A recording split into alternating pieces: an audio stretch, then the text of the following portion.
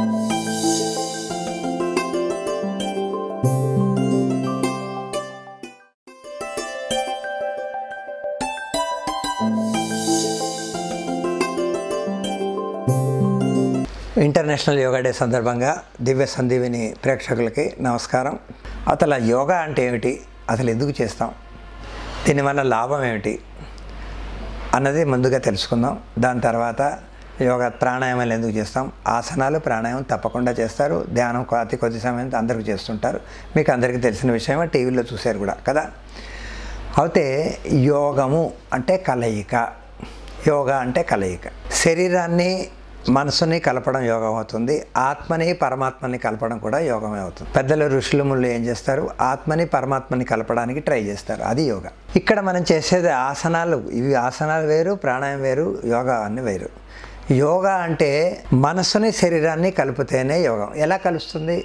దీన్ని కలపడానికి కారణం ఏంటి? ఎలా కలపగలుగుతాం? ఆసనం చేసినప్పుడు యోగాసనాలు చేసాం నేను యోగా చేశాను అంటూ ఉంటాం. యోగా అంటే ఏంటనేది తెలుసుకుందాం. చూడండి ఒక ఆసనం ఏదో ఒక రకమైన ఆసనాలు వేస్తారు. ఇప్పుడు కాళ్ళు చాపేసి చేతులు పైకెత్తి ముందుకు వంగి చే కాలు వేళ్ళు పట్టుకొని ఉంటారు కొద్దిసేపు. తల మోకాళ్ళకి టచ్ చేస్తాం. అప్పుడు ఏమవుతుంది కడుపు లోపల కొత్తుకుపోతుంది వెనక లాగబడుతుంది సాగుతుంటుంది నొప్పి పెడుతుంది కదా? లేకపోతే ఇలా సైడ్కి బెండ్ అవుతాం.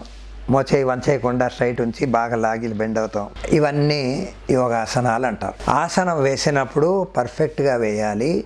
ఎక్కడ ఒక ఆసనంలో ఒక రకంగా బెండ్ అవుతాం. ముందుకు బెండ్ అవడము వెనక్కి బెండ్ అవడము సైడ్కి బెండ్ అవడం లేకపోతే రెండో సైడ్ బెండ్ అవడం లేకపోతే ట్విస్ట్ చేయడం ఇలా వెనక్కి ట్విస్ట్ చేసి కూర్చుంటాం. ట్విస్టింగ్ ఆపోజిట్ డైరెక్షన్ ట్విస్టింగ్ ఇవన్నీ రకరకాలుగా ఉంటాయి. ఇవి ఆసనాలు అంటాం. ఒక పొజిషన్ వచ్చినప్పుడు శరీరంలో ఒక దగ్గర నొప్పి వస్తుంది. ముందుకు బెండ్ అయ్యామనుకోండి కడుపు దగ్గర నొప్పి వస్తుంది వీపులో సాగబడుతుంటుంది. పశ్చిమోత్తానాసనం అంటారు. మామూలుగా ఎగ్జాంపుల్ చెప్తున్నా. ఆ నొప్పి వచ్చినప్పుడు కళ్ళు మూసుకొని ఆ నొప్పి మీద మనసు పెట్టాలి. మనసు పెడితే ఏమవుతుంది? ఆ నొప్పి కొద్దిగా ఉంది తెలుస్తుంది. కొంచెం ఇంకొంచెం ప్రెషర్ ఇచ్చారనుకోండి వంగి ఇంకొంచెం నొప్పి పెడుతుంది. అక్కడ ఆగాలి సామాన్య శ్వాసతో. ఆ నొప్పి మీదనే మనసు ఉంచాలి మెల్లిగా రిటర్న్ వచ్చేయాలి. చాలు. మీ పెయిన్ ఇక్కడ మెయిన్ నేను కరెక్ట్గా కాళ్ళు పట్టేసుకున్నాను తల తగిలిపోయింది అన్నట్టు కాదు. ఇంకోటి కాళ్ళే అందవు. ఇలా పెడితే కూడా కాళ్ళు అందవు. చేతులు శరీరం వెనక్కి లాగేస్తుంది. కాళ్ళు వేళ్ళు అక్కడ ఉంటాయి వీడి ఇక్కడ ఉంటాడు. ఎంత ట్రై చేసినా రాదు. వెనక్కి వెళ్ళిపోతుంటుంది శరీరం. కానీ వీడికి నొప్పి వస్తుంది.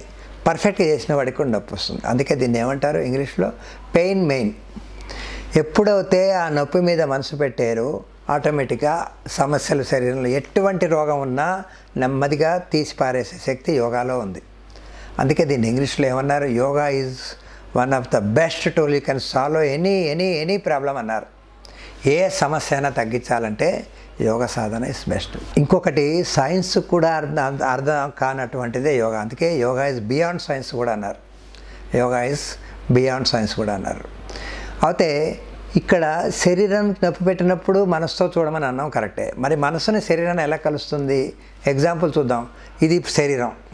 మనసు ఎక్కడ ఉందో మనకు తెలియదు అయితే శరీరం మీద గట్టిగా ఎవరో దెబ్బ కొట్టారనుకోండి వీపులోనో మెడ మీదో తల మీదో గట్టి కొడితే మనకి దెబ్బ తగిలి నొప్పి పెడుతుందా? మనసు బాగా ఏమవుతుంది అప్పుడు గిలిగ విలువెల్లాడుతుంది. ఎవరైనా బట్టి గట్టిగా కొడితే చెంప మీద ఏమవుతుంది? మనసు వెలువెల్లాడుతుంది. అంటే ఇక్కడ శరీరం మీద దెబ్బ కొట్టగానే మనసు బాధపడింది కదా. మనసుకి శరీరానికి ఇక్కడ అభినవ సంబంధం ఉన్నట్టే. పోని ఇంకో రకంగా ఆలోచిద్దాం. మనసుకి దెబ్బ తగిలింది అనుకోండి అంటే ఎవరికో ఎవరో ఏదో ఒక మాట అంటారు లేకపోతే మన డబ్బు మన దగ్గర ఏదైనా వస్తువు తీసుకున్నాక డబ్బులు తీసుకున్నాక వాళ్ళు అడగడానికి వెళ్తే పెద్ద మాటలు మాట్లాడేదని అన్నారు అనుకోండి చాలా బాధ వేస్తుంది. మనం వినరాని మాటలు మన ఇంట్లో కూడా ఎప్పుడు అటువంటి జరగని మాటలని వాళ్ళ అవతల వాళ్ళ నలుగురు ముందు అనేసరికి చాలా బాధ వేసి పైకి ఎవరికి చెప్పుకోలేక ఆ మనసులోనే మదన పడుతూ బాధపడుతూ ఉంటే ఏమవుతుంది? శరీరం చిక్కిపోతుంది కదా? అంటే ఇక్కడ ఏమైంది? మనసు మీద దెబ్బ కొడితే శరీరం కూడా చిక్కిపోయింది. అంటే మనసుకి శరీరానికి అభినవ సంబంధం ఉంది. యోగాలో మనసుని శరీరాన్ని కలపడమే యోగం. ఇంకో రకంగా ఆలోచిస్తే తల్లిదండ్రులు మనతో కలిసి ఉంటే యోగం విడిపోతే ఏమంటాం? మాతృవియోగం పితృవియోగం అంటారు. అంటే విడిపోయారు వాళ్ళతో ఇది యోగం. మీతో నేను కలిసి ఈ విధంగా మాట్లాడేది కూడా యోగమే అనుకోవచ్చు. ఇది యోగా డే రోజు నాడు యోగ సాధన పక్కా చేసి చూడండి. మీకు తెలుస్తుంది అది నిత్య సాధన ఉండాలి. భోజనం చేసేసి నాకు ఆకలేదన కదా. నాలుగు గంటల తర్వాత మళ్ళీ వెతుక్కుంటాం ఆహారానికి. అలాగే యోగ సాధన చేస్తే ఇరవై నాలుగు గంటలు కరెక్ట్గా ఇరవై నాలుగు ఇరవై ఐదు గంటలే శరీరాన్ని కాపాడుతుంది. ఏ సమస్య ఉన్నా ఇరవై నాలుగు గంటల తర్వాత ఎవరిని కాపాడదు. అందుకే డైలీ రోజు పొద్దున్న పొద్దున్న లేచి యోగ సాధన చేయాలి. ఎన్ని పనులున్నా పక్కన పెట్టి చేయాలి. ఆఫీస్కి వెళ్ళి డబ్బు సంపాదిస్తాం. డబ్బు మీద ఇంట్రెస్ట్ ఎంత ఉందో యోగా మీద గంటైనా ఇంట్రెస్ట్ పెట్టకపోతే హరిహరాదులు కూడా మనని బాగు చేయలేరు. సాధన చేసి చూడండి ఈ ఎపిసోడ్లో. ఇది ఇంటర్నేషనల్ యోగా డేకి అందరూ సాధన చేస్తారు. అందరూ ఆరోగ్యంగా ఉండాలని సంకల్పం చేసుకుంటూ ముగిస్తున్నాను.